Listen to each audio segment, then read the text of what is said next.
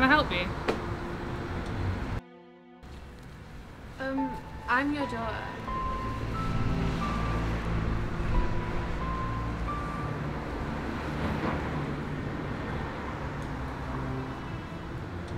What do you want?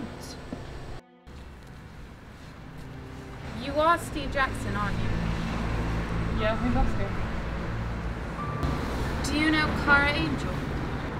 That's a name from a long time ago. She's my mom.